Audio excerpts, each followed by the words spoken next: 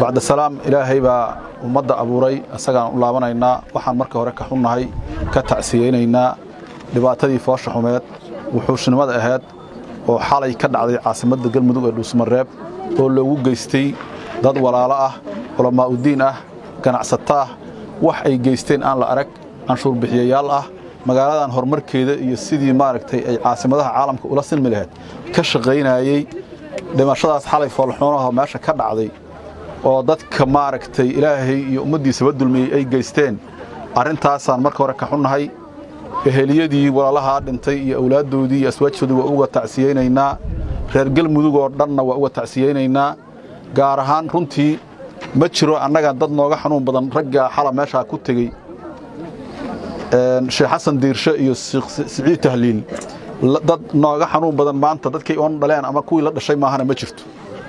Laakiin maadaama laga yaabo agoomihii badankoodii inay cadaado jiraan.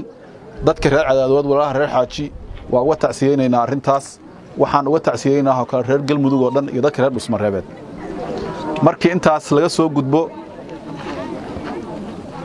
dadka xalay dhibaatadaa geystay waxay dileen diinta islaamka ay dhibaato u geysteen. Waxay dileen caasimaddii galmudug waxay dileen dadka deegaankan deggan oo magaca beesha cayr waxba la qarin maaye oo halkan caasimadda u badan magacooda dadka jooga oo waxgarta oo adduunka dacalladiisa iyo dalka gudihiisa ku nool. Inta waxgarata oo ka xanuunsata waxaan oo ilaahay darti u cibaadaysatay waxay dileen magacoodii iyo sharaftoodii iyo cibaadadoodii iyo noloshoodii intaba. Waxaan rabnaa halkaan inaan ka caddayno dowladda galmudug waxay diyaar u tahay nimankaa in la soo qabto shareecada islaamkana la hor keeno wixii ay galeenna laga oofiyo waxaa laga rabaa reer galmudug oo dhan iyo dadka aan sheegay oo beesha cayr. Waxba kala warwareegi mayno.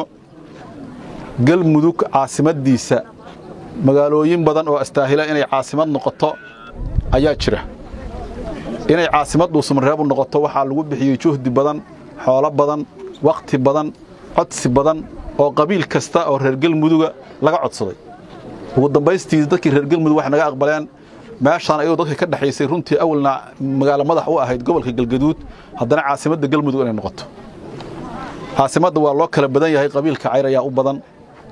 Dadkii walaalaha ahaa oo reer galmudug oo aan u yeernay oo halkaan maalgashanayey oo naftooda iyo maaragtay hantidoodii meeshaan keenay waxaa la yidhi hindhisa saddex goor hadday dhaafto wax laga xamdi naqa ma leh.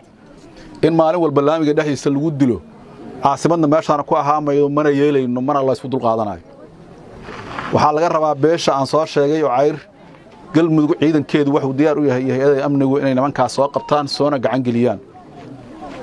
Waxaa laga rabaa si dhab ah inaad u garab istaagtaan dawladda wixii hub aan haysanno iyo wixii aan hanti haysanno iyo waxaan caqli leennahay inaan nimankaas sharciga ku hor keenno dadku waa dhintaa maalin walba waa isdilaa dhimasho waa dhici jirtay ma ahan inaan muddaan u gub tahay laakiin ummaduhu markii dhib ka dhaco qofkii la daaweeyana waa daawooba. Qofkii safri karana waa safraa qofkii kalena baadiyaha iyo meelahaas la dilaa. In caasimadda dad abri'aa lagu dilaahay waxay ka turjumaysaa ummaddan nolosheedii o dhan god in la geliyo. Taas darteed annagu inta qof naga nool yahay arrintaas ma yeelayno. Ma dhahaayo qabiil reer hebelahoo cayr ka sii mid ahaa dhibkaan sii geystay. Waxaan ogahay dadku waxay sii kala sheegaanoo reer hebela cid ahaa sii socota. Cid reer hebela oo waxaan ku heshiido gaaroo ma jirto. Shayddaan aan ilaahay iyo rasuulkiisa midna aqoonin ayaa dhibkan ka teliyey inta wanaagga jecela ka badan. Macmil ma ogtahay in dhammaan lacagaha dibadda lagaaga soo dirayo inaad ku heli kartid adeega iidahab adigoo jooga gurigaaga iyo goobtaada shugo haddaba macmil booqo xarumaha somtel ama dahabshiid si aad u hesho simikaarka somtel oo ay kula socoto 1.5 g b data iyo konton daqiiqo ku hadala